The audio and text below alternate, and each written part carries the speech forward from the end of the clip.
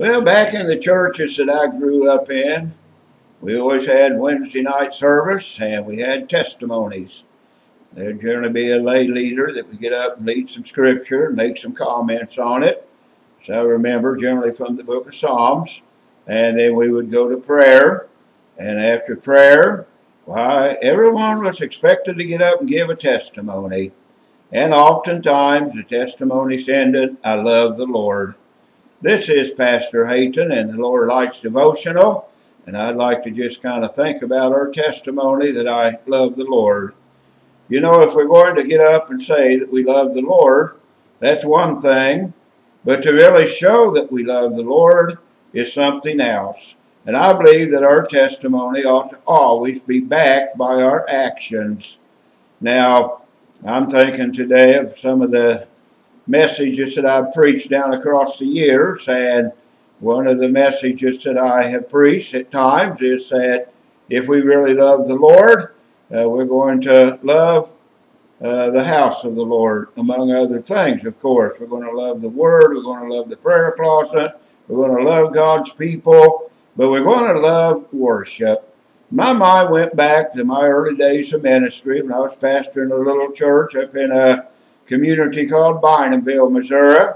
Hardly a wide spot in the road, really, but a little general store at the post office off in the corner of the store, and uh, a few houses within, I guess, what we would call the town limits. But Bynumville was just a rural area, and uh, the church there, of course, was quite small.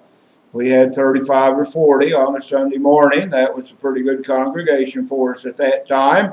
Earlier years, why, it was a much stronger church when uh, people uh, occupied rural areas. All you had to do was drive up and through the country and see all the empty farmhouses and realize that one farmer was doing what three or four farmers used to do. And so naturally there weren't as many people. It wasn't a heavy populated area.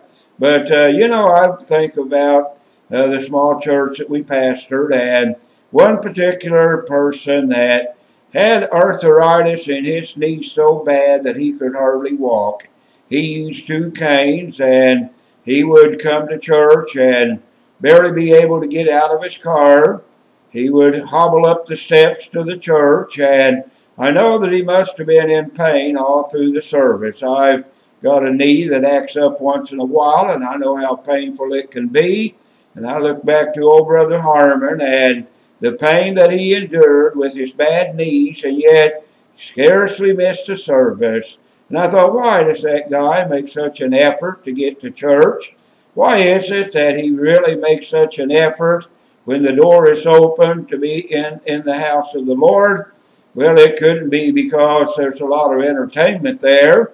I guess if you had a sense of humor, you might be entertained, but we didn't have a high-powered music program at all.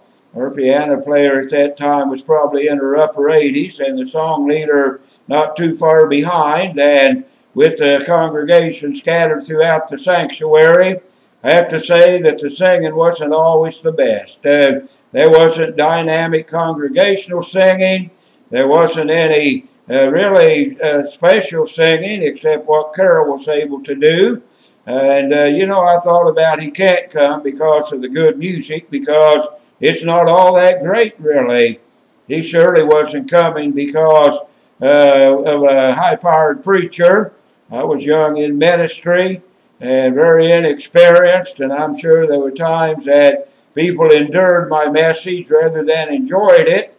So he didn't come because of a high-powered speaker that would uh, thrill his heart with uh, the truth. Uh, he came and probably endured many messages just as others did. But why would he come to church? Today we think if we have a big music program and if we have excellent ministry, we have computerized lighting and, and computerized music, well, that'll bring the people in. Well, it may bring them in, but if that's the reason they come, uh, that's not a real good reason.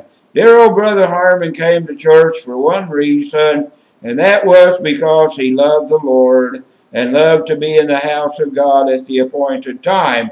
And I still believe that if you love the Lord, you're going to show it by a faithful and a consistent worship in His house.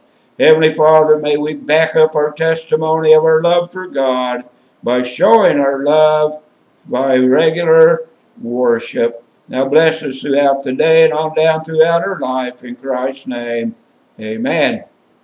Well, I'll see you tomorrow here on Lower Lights Devotional with Pastor Hayton. Goodbye now.